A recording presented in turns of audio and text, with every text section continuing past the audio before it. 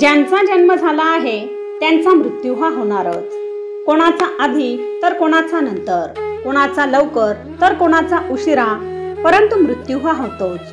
मृत्यू ही अटळ गोष्ट आहे. ती कोणीही टाळू शकत नाही. परंतु मृत्यू म्हणजे शेवट नाही. आपले शरीर हे नाशवंत आहे तर आत्मा अमर आहे.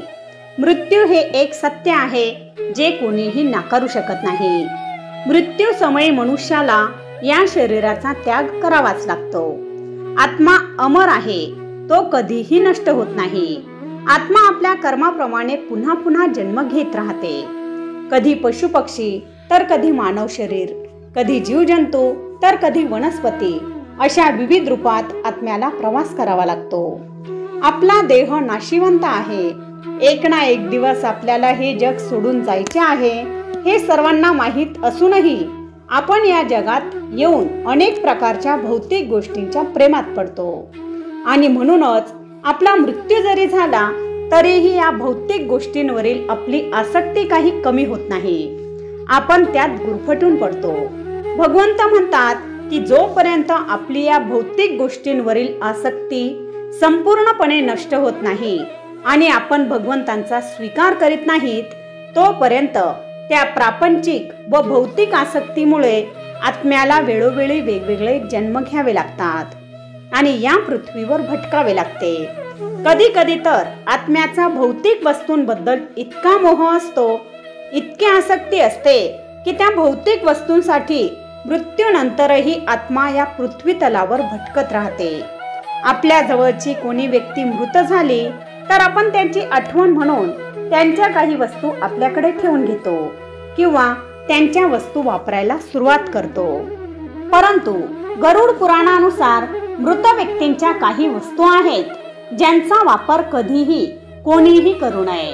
कारण व्यक्ती ज्यावेळी जिवंत असते त्यावेळी त्या वस्तूचा वापर ती व्यक्ती करीत असते आणि त्या व्यक्तीची ऊर्जा त्या वस्तूशी जोडली जाते. आणि म्हणूनच त्या व्यक्तीचा मृत्यू झाला तरीही त्या व्यक्तीची त्या वस्तूबद्दलची ओढ कायम असते. आणि म्हणूनच शरीर नष्ट झाले तरीही आत्मा त्या वस्तूशी संलग्न राहते.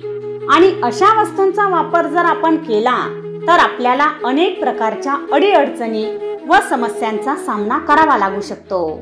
आत्म्याने एकदा शरीर सोडले तर ती आत्मा आपली कोणीही राहत नाही. म्हणूनच ती मृतात्मा आपल्याला अनेक प्रकारे त्रास देऊ शकते.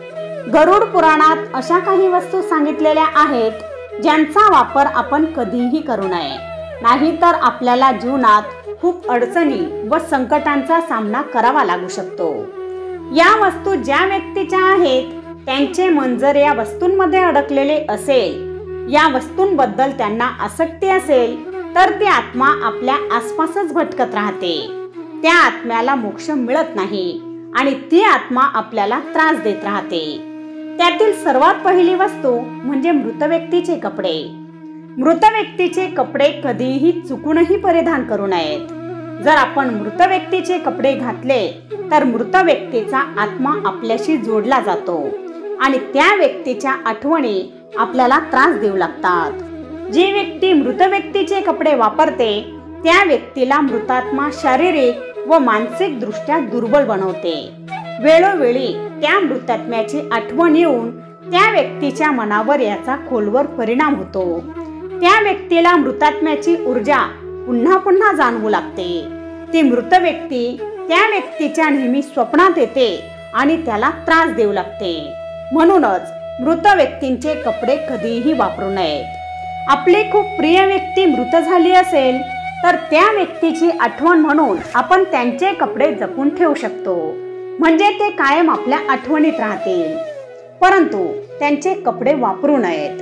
मृत व्यक्तींचे कपडे दान करावेत. मग ते कितीही उंची व भारी कपडे असले तरीही त्यांचे दान करावे.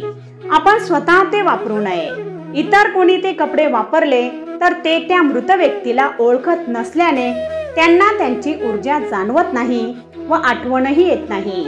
तसेच गरीब व गरजू व्यक्तींना अंग झाकायला कपडे मिळतात. त्यातून त्यांचे आशीर्वाद आपल्याला मिळतात. तसेच मृतात्म्यालाही याचा काही पुण्याचा वाटा मिळतो.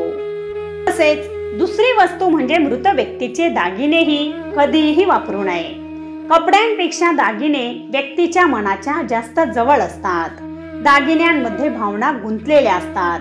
त्यात ते कोणी घेतले कधी घेतले कसे घेतले या सर्व आठवणी जोडलेल्या असतात. म्हणून दागिन्यांची प्रत्येक व्यक्तीच्या मनात एक वेगळी जागा असते. म्हणून मृत व्यक्तीचे दागिनेही कधीही वापरू नये. महिलांना तर दागिन्यांची विशेष ओढ असते आणि मृत्यूनंतरही त्या दागिन्यांवरील त्यांची ओढ काही कमी होत नाही. मृत आत्म्याची ओढ त्यांच्या कपड्यांपेक्षा कितीतरी जास्त पटीने दागिन्यांवर असते. आणि जर हे दागिने आपण घातले तर त्या मृतात्म्याची ऊर्जा त्या व्यक्तीशी जोडली जाते आणि अनेक मानसिक समस्यांचा सामना त्या व्यक्तीला करावा लागतो. म्हणून मृत व्यक्तीचे दागिने कधीही घालू नये. व्यक्ती मृत झाली की त्या व्यक्तीचे दागिने दान करावेत किंवा ते दागिने मोडून नवीन दागिने तयार करावेत व ते वापरावेत. परंतु तसेच ते दागिने वापरू नयेत. जर मृत व्यक्तीने मृत्यूपूर्वी आपल्याला त्यांचे दागिने दिले असतील तर आपण ते दागिने वापरू शकतो. परंतु ते दागिने त्यांनी आपल्याला न देता सांभाळून ठेवलेले असतील तर त्या दागिन्यांमध्ये त्यांची जास्तीत जास्त आसक्ती असते. म्हणून असे दागिने कधीही वापरू नयेत. पुढील वस्तू म्हणजे मृत व्यक्तीचे घड्याळ. मृत व्यक्तीचे घड्याळही कधीही वापरू नये. घड्याळाचा उल्लेख गरुड पुराणात नाही परंतु घड्याळही खूप मोठे ऊर्जावाहक आहे. ज्योतिषशास्त्रानुसार मृत व्यक्तीचे घड्याळही त्याचे ऊर्जावाहक म्हणून कार्य करते. कारण घड्याळ व्यक्तीशी आयुष्यभर जोडलेले असते आणि त्यात त्या व्यक्तीची वेळ दिसत असते. घड्याळ त्या व्यक्तीच्या आयुष्यातील चांगल्या व वाईट काळाचा हिशोब ठेवते. म्हणूनच त्या व्यक्तीच्या मृत्यूनंतर त्या व्यक्तीची सकारात्मक व नकारात्मक ऊर्जा त्या घड्याळात असते. मृत व्यक्तीचे घड्याळ जे कोणी वापरते त्या व्यक्तीवर त्या घड्याळातून नकारात्मक ऊर्जा प्रभाव पाडते आणि याचा त्या व्यक्तीच्या जीवनावर खूप परिणाम होतो. त्या व्यक्तीला खूप त्रास सहन करावा लागतो. म्हणून मृत व्यक्तीचे घड्याळही कधीही वापरू नये. तसे तर जिवंत व्यक्तीचेही घड्याळ कधीही वापरू नये.